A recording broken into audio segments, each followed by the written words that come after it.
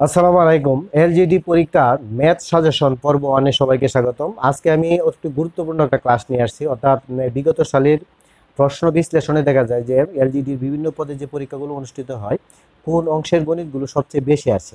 আজকের প্রথম পর্বে এই বিষয়গুলো তুলে ধরা হবে। পর্যায়ক্রমে দ্বিতীয় পর্ব, পর্যায়ক্রমে তৃতীয় পর্ব অবশ্যই থাকবে আপনাদের জন্য। সকল ক্লাসের নোটিফিকেশনের জন্য অবশ্যই math magic point Facebook page এবং ইউটিউব চ্যানেলের সাথে থাকবেন। আজকে শুধুমাত্র আপনাদের ধারণা দিব যে আপনি কোন কোন অংশ থেকে গণিতগুলো আপনি সমাধান করবেন, তাহলে এই টাইপের গণিতগুলো আপনার পরীক্ষায় কমন হবে ইনশাল্লাহ আমরা প্রথমে চলে যাব যে লগারিদম আমরা যদি লগারিদমে যাই, তাহলে লগারিদমের কোন টাইপের গণিতগুলো পরীক্ষায় আসে?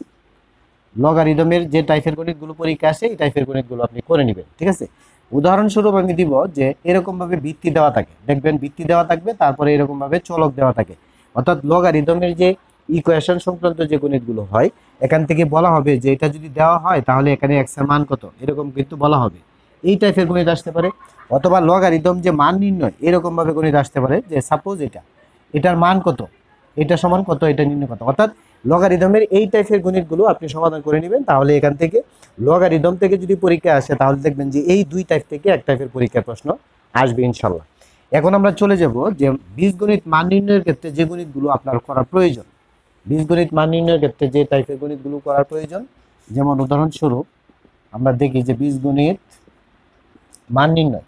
বীজগণিত মান নির্ণয়ের মধ্যে সবচেয়ে বেশি যে পরীক্ষা আসে যে অনুসিদ্ধান্তগুলো, এই অনুসিদ্ধান্তগুলোর উপরে ভিত্তি করে যে গণিতগুলো হয়, এই গণিতগুলো আপনি সবচেয়ে বেশি সমাধান করবেন। সাপোজ যে a square plus b square ঠিক আছে? এইটার উপরে কিন্তু অনুসিদ্ধান্ত আছে, তিনটা অনুসিদ্ধান্ত আছে। আপনি এই তিনটি অনুসিদ্ধান্তের উপরে ভিত্তি করে যে গণিতগুলো হয়, এই গণিতগুলো আপনি ভালোভাবে করে নেবেন। দেখেন, ভালো করে খেয়াল করেন যে তিনটি অনুসিদ্ধান্ত হয় কীভাবে? এটা আমরা আগে দেখি। এই যে তিনটি অনুসিদ্ধান্ত, অর্থাৎ a square plus b square সমান কিন্তু তিনটি অনুসিদ্ধান্ত হয়। এই তিনটি অনুসিদ্ধান্তের উপর ভিত্তি করে কিন্তু যে কোনো একটা অনুসিদ্ধান্তের উপরে ভিত্তি করে কিন্তু গণিত আসে পরীক্ষায়। তাছাড়া অন্য যে অনুসিদ্ধান্তগুলোর উপরে ভিত্তি করে আসে, এই বিষয়টাও আপনার জানা থাকতে হবে। উদাহরণস্বরূপ দেখেন ফোর এবি এটা সমান আসে two into a square plus b square এটা সমান, এবং তাছাড়া এবি এই, এইগুলো সম্পর্কে, অর্থাৎ a plus b whole square minus a minus b whole square আর এটা জাস্ট আপনি এখানে মাইনাস চিহ্নটাকে প্লাস করে দিবেন। তাহলে এটা সূত্র চেঞ্জ হয়ে যাবে। অর্থাৎ এটা হবে এরকম। আর এ বির ক্ষেত্রে আমরা জানি যে a plus b by two whole square a minus b by two whole square ঠিক আছে? এটা হচ্ছে একটা বিষয়। আরেকটা বিষয় আপনার জানতে হবে, যে অনুসিদ্ধান্তগুলো আমি দিচ্ছি, এই অনুসিদ্ধান্তগুলোর সমন্বয়ে যে গণিতগুলো হয়, এই গণিতগুলোই শুধু আপনি কি করবেন? করে নেবেন, তাহলে দেখবেন এখান থেকে ইনশাল্লাহ কমন হয়ে যাবে। একটা হচ্ছে যে এ কিউব প্লাস বি যে অনুসিদ্ধান্তটা দেওয়া আছে, যে a plus b whole cube minus three a b into a plus b এই যে একটা অনুসিদ্ধান্ত, আরেকটা অনুসিদ্ধান্ত দেওয়া আছে যে কিউবের মাইনাসের ক্ষেত্রে। যদি মাইনাসের ক্ষেত্রে অনুসিদ্ধান্তটা দেখি, তাহলে কিন্তু এটা এরকম হবে। A minus b whole cube plus three a b into a minus b তার মানে আরেকটা বিষয় হচ্ছে যে a plus b whole square যে অনুসিদ্ধান্তটা, সেটা হচ্ছে কিন্তু a minus b whole square plus four a b ঠিক আছে?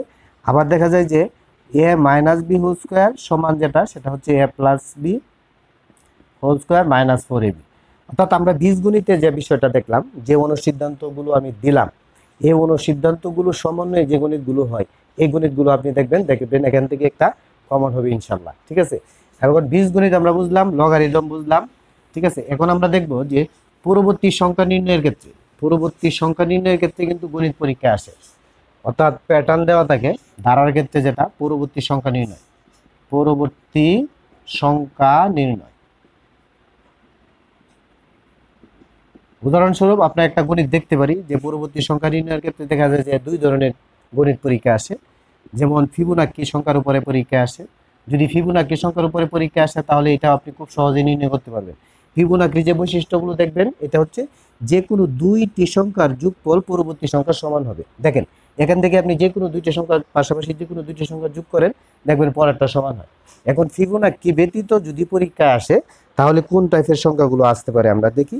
যেমন আট, এগারো সাপোজ সতেরো হ্যাঁ তারপরে আমরা উনত্রিশ দেখতে পারি, তেপ্পান্ন দেখতে পারি। এখন আপনাকে যদি বলা হয় এর পরবর্তী সংখ্যা কত? এখানে দুই টাইপেরই সাধারণত পরীক্ষায় সবচেয়ে বেশি প্রশ্ন হয়। তখন এইটির ব্যবধান আপনি নির্ণয় করবেন। দুইটা পাশাপাশি দুইটা সংখ্যার ব্যবধান নির্ণয় করেন, এখানে যদি আমরা ব্যবধান নির্ণয় করি তিন পাবো, এখানে পাবো ছয় হ্যাঁ এখানে পাবো বারো, ঠিক আছে? আর এখানে পাবো চব্বিশ। তার মানে এই যে ব্যবধানগুলো যে পার্থক্যগুলো পাচ্ছি, এই পার্থক্যগুলোর ভিতরেও কিন্তু একটা প্যাটার্ন বিদ্যমান। কারণ এই প্রথম সংখ্যাটাকে দ্বিগুণ করলে কিন্তু দ্বিতীয়টা পাওয়া যায়, দ্বিতীয়টাকে দ্বিগুণ করলে কিন্তু তৃতীয়টা পাওয়া যায়, তৃতীয়টাকে দ্বিগুণ করলে কিন্তু চতুর্থটা পাওয়া যায়। তার মানে পরেরটাকে যদি আপনি পেতে চান, তাহলে অবশ্যই চব্বিশকে কি করতে হবে? দ্বিগুণ করতে হবে। তার মানে এইভাবে যোগ করতে হবে। প্রত্যেকটা সংখ্যার জন্য এইভাবে যোগ করতে হয়, দেখেন, আট আর তিন যোগ করার পরে কিন্তু এগারো পাবেন, এগারো আর ছয় যোগ করার পরে কিন্তু সতেরো পাবেন। এরকমভাবে এই তিপ্পান্ন এবং আটচল্লিশ যদি যোগ করেন, তাহলে আপনি একশত এক পাবেন তার মানে এই টাইপের এই দুই টাইপের কিন্তু পরীক্ষা আসে এই টাইপটা আপনাকে দেখতে হবে। ঠিক আছে? এরপরে আমরা দশমিক ভগ্নাংশের, আমরা গুণ দেখব, বাঘ দেখব। যে দশমিক ভগ্নাংশের ক্ষেত্রে আপনার গুণ এবং বাঘ রিলেটেড একটা প্রশ্ন পরীক্ষায় কিন্তু আসে। এই প্রশ্নগুলো আপনাকে দেখতে হবে। এখন আমরা দশমিকের গুণ বাঘ। ঠিক আছে? দশমিকের দশমিকের গুণ বাঘ। যদি দশমিকের গুণ বাঘ আসে, তাহলে কোন টাইপের প্রশ্ন আসবে? দেখেন, বাঘ কীভাবে প্রশ্নগুলো আসে? যেমন দশ গুণ দশমিক শূন্য এক সাপোজ এরকমভাবে থাকতে পারে। ঠিক আছে? যদি এরকম থাকে, শুধুমাত্র গুণ আকারে থাকতে পারে, আবার এরকমভাবে থাকতে পারে যে গুণ এবং বাঘ আকারে দেওয়া আছে এরকম। মনে করেন যে এরকম দেওয়া আছে, গুণ এবং বাঘ আকারে। এখন এই টাইপের যত গণিত আছে, সবগুলো গণিত কিন্তু আমার math magic point Facebook page এবং ইউটিউব চ্যানেলে আছে। আপনি একটু চার্জ করে দেখেন। প্লে লিস্টে যান, দেখবেন যে দশমিকের বা অন্যান্য টাইপের যে বিষয়গুলো আলোচনা করছি লক সূচক, এই সব টাইপের কিন্তু আলাদা আলাদা ক্লাস দেওয়া আছে, ওই ক্লাসগুলো দেখার চেষ্টা করেন, ঠিক আছে? এখন এই যে টাইপের যে গণিতগুলো আসে, এই টাইপের গণিতগুলো আপনি কি করবেন? দেখে নেবেন যে এই টাইপ থেকে কিন্তু একটা প্রশ্ন হয়ে থাকে দশমিকের ক্ষেত্রে দেখা যায় যেটা। এখন আরেকটা গুরুত্বপূর্ণ বিষয় হচ্ছে যে ত্রিকোণমিতির উপরে ভিত্তি করেও কিন্তু একটা প্রশ্ন হয়ে থাকে, ঠিক আছে? এখন ত্রিকোণমিতির উপরে ভিত্তি করে যদি প্রশ্ন হয়, তাহলে কোন টাইপের প্রশ্নগুলো হতে পারে? আমরা দেখি একটু। ত্রিকোণমিতি। ত্রিকোণমিতির ক্ষেত্রে দেখা যায় যে আপনাকে মানগুলো মনে রাখতে হবে যে মান নির্ণয়ের উপরে ভিত্তি করে প্রশ্ন হয়। কীরকম প্রশ্ন হয়? সাপোজ দেখেন যে এখানে দেওয়া আছে যে tan a equal root over three হলে tan a root equal root over three হলে সাইনের সমান কত? ঠিক আছে? সাইনের সমান কত? এখন এই টাইপের প্রশ্ন থাকতে পারে। আরেকটা হচ্ছে এরকম থাকতে পারে যে সাপোজ এখানে sec theta minus tan theta equal three by four হলে, ঠিক আছে? Sec theta plus tan theta এটা সমান কত? ঠিক আছে, এরকমভাবে থাকতে পারে। অর্থাৎ দেওয়া থাকবে প্লাসে মাইনাসে নির্ণয় করতে হবে অথবা প্লাসে দেওয়া থাকবে মাইনাসে মাইনাসে নির্ণয় করতে হবে প্লাসে দেওয়া থাকবে, যেভাবে দেওয়া থাকুক। এই যে মান নির্ণয়ের ক্ষেত্রে যে গণিতগুলো হয়, এই টাইপের যে গণিতগুলো আছে এবং এই যে সূত্রের উপরে ভিত্তি করে যে গণিতগুলো হয়, এই দুই টাইপের গণিত যদি আপনি দেখেন, তাহলে ত্রিকোণমিতির উপরে ভিত্তি করে যে গণিতটা হয়, সাধারণত এটা কমন হয়ে যাবে। আরেকটা প্রশ্ন আছে সেটা হচ্ছে যে স্থানাঙ্ক জ্যামিতির ক্ষেত্রে। স্থানাঙ্ক জ্যামিতির ক্ষেত্রে প্রশ্ন হয়ে থাকে, স্থানাঙ্ক জ্যামিতির ক্ষেত্রে কি টাইপের প্রশ্ন হয়? এটা আমরা দেখি। স্থানাঙ্ক জ্যামিতির ক্ষেত্রে খেয়াল করেন। স্থানাঙ্ক জ্যামিতির ক্ষেত্রে প্রশ্নটা হয়, এটা হচ্ছে এরকম যে স্থানাঙ্ক জ্যামিতির ক্ষেত্রে আমরা জানি যে এইরকম ভাবে চারটি কোয়ার্ডেন্ট থাকে। অর্থাৎ প্রথম চতুর্ভাগ, এটাকে প্রথম চতুর্ভাগ বলে, ঠিক আছে?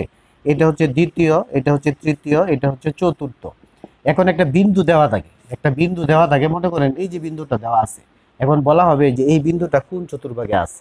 আপনাকে আগে বুঝতে হবে যে এই যে স্থানাঙ্ক জ্যামিতির ক্ষেত্রে যে চতুর্ভাগটা দেওয়া আছে, যে প্রত্যেকটা চতুর্ভাগের চিহ্নগুলো কি হবে, এটা আপনার জানা থাকতে হবে, এটা বোঝার একটা উপায় আছে।